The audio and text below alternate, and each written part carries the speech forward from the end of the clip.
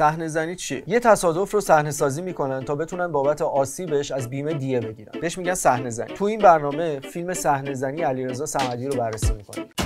دو تا دندون چند تا دامیر شکسته.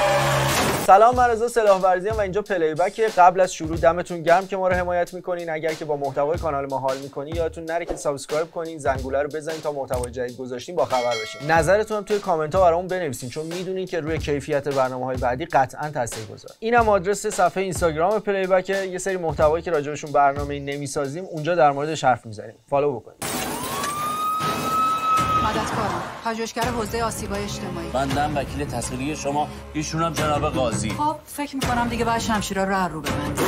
اول در مورد صحنه زنی صحبت بکنیم. قبل از تیتراژ آخر یه نوشته می‌بینیم که میگه بر اساس اطلاعات شرکت های بیمه مبالغ خیلی هنگفتی از طریق صحنه زنی هر سال جابجا میشه. ولی آمار دقیقی ازش وجود نداره. تا جایی که من خبر دارم یه مستندم راجبی ساخته شده که ندیدم ولی متاسفانه وجود این موزل رو توی کشور ما تایید می‌کنه. طوری که من متوجه شدم به این سادگی هم نیست. معمولا یه مافیایی براش وجود داره که آدمایی که پول ندارن یا کسایی که بدهکارن رو برای تصفیه حساب مجبور به صحنه زنی می‌کنن.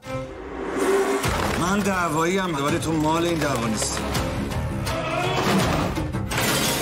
اگر هنوز فیلم صحنه زنی رو ندیدین هیچ اشکالی نداره. ما اسپویل نداریم اینجا. با خیال راحت برنامه رو ببین نگران نباش. چیزی نیست. یه دادگاه صحرایی کوچیک بزرگوار مرد جنگید عاشق شده. عاشق شده. از اونجایی که می‌دونین ما آدمای مثبت گرایی هستیم اول میریم سراغ نکات مثبت فیلم. اول اینکه صحنه های تصادف خوب در اومده و جلوه های ویژش قابل قبوله. دوم اینکه طراحی صحنه توی بعضی لوکیشن ها همشون نه. بعضی یا مثل مثلا آشپزخونه مواد مخدر یا مطب دکتره پرداخت خوبی روی جزئیات داره. همین. با کوشش فراوان کل تیم Playback این دوتا مورد خوبی تونستیم پیدا کنیم. بریم سراغ بقیه‌اش فیلم نامه. فیلم نامه.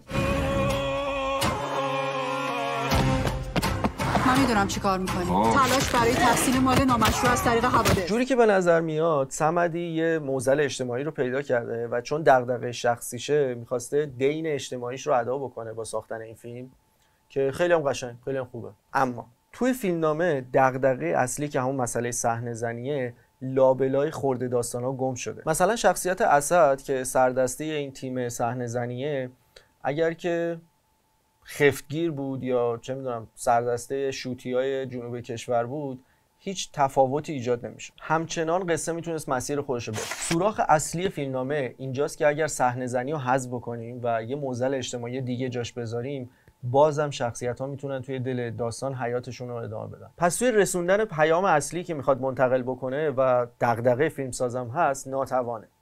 این است انگیزه شخصیت ها شفاف نیست. یه اشاره به این خورده داستان می‌کنه هنوز چیزی ازش نفهمیدیم. رد میشه یه شخصیت جدید وارد میشه. نمی‌فهمیم کیه میره جلوتر. یه داستان فرعی جدید. انگار یه ظرف به آقای صمدی دادن. گفتن که اگه می‌خوای طرح تبدیل به فیلم نامه بشه باید با خورده داستان و شخصیت های فرعی پرش بکنی. حالا به هر قیمتی فرقی نمی‌کنه. از شروع تا تیتراژ پایان من یه دونه شخصیت تو این فیلم ندیدم. همه تیپن. راحت دیگه. یه چهار تا تیپ تعریف می‌کنی. نه پیشینه می‌خواد نه انگیزه می‌خواد نه شخصیت پردازی می‌خواد. می‌ذاریم میره دیگه. چه کاری؟ من یه دونه دیالوگ از فیلم براتون می‌خونم. اولی ناراحتت کردم. دومی. نه ولی حقیقت رو بد جوری کوبوندی توی صورتم. آقای سمدی بیا قرار بذاریم با هم بریم از کیانشهر تا دربند را بریم این روز ببینیم کی کجای این شهر این شکلی حرف می‌زنه با این ادبیات که شما دیالوگ نوشتین. شخصیتات قابل باور نیستن. کارگردانی. بریم کارگردانی. کارت. بچه بنداز؟ چجوری بندازمش من دارم در مورد زندگی یه بچه حرف می‌زنم. سال 99 این فیلم برنده سیمرغ نقره کارگردانی از جشنواره فتح شده. این از توی یه سکانس دوربین ثابته؟ هیچ اتفاق خاصی نمی‌بینیم اسد لباساشو میپوشه راه میفته از پلان بعدی دوربین میره روی دست و تا آخر سکانس روی دسته چرا؟ چه استفاده ای ازش کردی؟ توی سکانس تعقیب و گریز دوربین روی دست با بازیگر داره حرکت می‌کنه. بازیگر می‌خوره به یه مانع جا میمونه و دوربین همچنان داره میره. با قاب خالی. آقا مگه مسابقه است عزیز من؟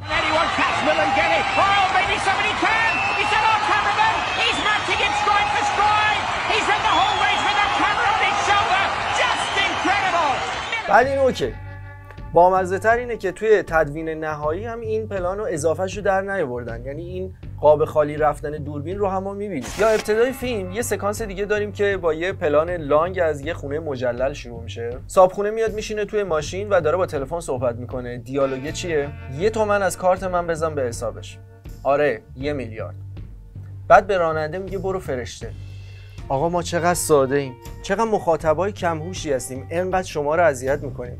با یه پلان لانگ از اون خونه مجلل نمی‌فهمیم این آدم چقدر پول داره. هی باید پشت هم ما بگی. به کارگردانیش سیمرغ دادیم یا چون پسر خوبیه؟ آها همین آقا پول داره توی ماشین داره با راننده حرف می‌زنه راجع به یه موضوعی. بعد وسط حرفش پلان عوض میشه از ماشین داره پیاده میشه. این که احتمال خیلی زیاد سانسوره OK. ولی وسط حرف زدنش دیگه کات نزن. اون صحنه اضافه دویدن و کات نمی‌زنی. بعد اینجا وسط دیالوگ کات می‌خوره. من از طرف خودم و برنامه Playback به تدوینگر این فیلم یه سیمرغ نقره‌ای هم هدیه میدم. صداگذاری فیلم که دیگه شاهکار دورانه. توی یه سکانسی موبایل روی میزه صدای ویبرش رو میشنویم. بازیگر موبایل از روی میز بر میداره و همچنان همون صدای ویبره رو میشنویم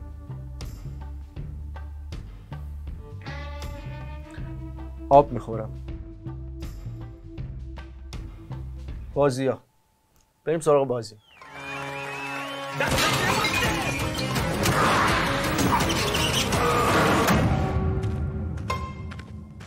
بهرام افشاری رو خیلی سال قبل از اینکه توی مدیوم سینما یا تلویزیون شناخته بشه بچه های تئاتری خیلی خوب باش آشنا بودن. چون اونجا خودش رو روی صحنه ثابت کرده بود. منم یه چند تا کار ازش دیدم و به بازیگریش ایمان کامل دارم. ولی متاسفانه انتخابای بدی داره انجام میده. توی یه کاری مثل صحنه زنی یا چشم و گوش بسته سی درصد توان بازیگرش هم نمی‌تونه استفاده بکنه. در بهترین حالت اون فیلم. حدس من اینه که چون نقش اول بهش پیشنهاد شده بازی توی صحنه زنی رو قبول کرده و به نظرم داره رزومش رو خراب می‌کنه فقط. شما یه بیننده پلی بک قاضی باش. وقتی سه تا سکانس پشت هم رو با پک محکم سیگار و پرت کردنش از قاب بیرون رفتن باید تموم بکنه یعنی این کار میزانسن نداره. با اون دیالوگی هم که یادتون باشه مثال زدم تو هر چقدر بازیگر خوبی باشی نمی‌تونی به اون آدمی که داری نقشش رو بازی می‌کنی نزدیکم بشی. چون اون کلمات مال اون آدم نیست. این یعنی فیلمنامه هم میلنگه. پس واقعا توی همچین شرایطی نمیشه از بازیگر انتظار کار خوب داشت. محتاب کرامتی هم که در کمال احترام من از وقتی بچه بودم روی پرده سینما دیدمش و یه دونه بازی دندونگیرم ازش یادم نمیاد. همین اواخر هم یه شاهکار دیگه توی سریال میدان سرخ ازش دیدم مجید صالحی. اینکه بازیگر با پیشینه تنز رو توی یک نقش متفاوتی ببینیم همیشه برای خود من جذابه. به خاطر اینکه دوست دارم ببینم با اون چالشه چیکار می‌کنه. آقای صالحی من مخاطب می‌فهمم که داری نقش بازی می‌کنی چون جنس بازی توی پارت های مختلف فیلم فرق می‌کنه. هر بار که این مدل بازی داره عوض میشه یه بار ارتباط من و کاراکتر رو قطع می‌کنه. بعد همه اینا نکته قشنگ بعدی که دیدم توی تیتراژ آخره. اسم بامداد افشار برای موسیقی فیلم. اولین چیزی که بعد دیدن اسمش یادم افتاد برنامه‌ای که راجع فیلم پوست ساختم. اونجا راجع به شاهکاری که روی اون فیلم پیاده کرده حرف زدم. و نمی‌دونم چطوری آدم می‌تونه به خودش بقبولونه که این همون آهنگسازه. لینک برنامه تحلیل فیلم پوست رو این بالا براتون می‌ذارم. حتما ببینین تا متوجه بشین که تفاوت سمدی و برادران ارک که فیلم اولی هم هستن توی چیه جنبندی. بریم جمع ببندیم. بابا آخه تو چی می‌خوای از جون ما؟ گند سگ. بدم لختت کنن آویزونت کنن کنار گاوا. بشر عجب آدم جنایتکاریه. آمادش کنیم برای صحنه زنی. باید بدهیش رو صاف کنه. صحنه زنی. در مجموع از تایمی که برای دیدن این فیلم گذاشتم به شدت ناراحتم ولی زمان برای ساخت برنامهش گذاشتم که به شما بگم این فیلم رو نبید حمایت از سینمای بیجون این روزای ایران به هر قیمتی فایده نداره. هیچ چی رو درست نمی‌کنه. محتوای خوب مثل فیلم پوست مثل بی همه چیز اگر ساخته بشه مخاطبش رو همراش میاد کلام آخر. اگه می‌خواین زمان و هزینه برای سینما رفتن بذارین فیلم بی همه چیز رو ببینید با رضایت از سالن میایم بیرون. من از هر کسی که از لحن تند این برنامه ناراحت شد از همینجا عذرخواهی می‌کنم.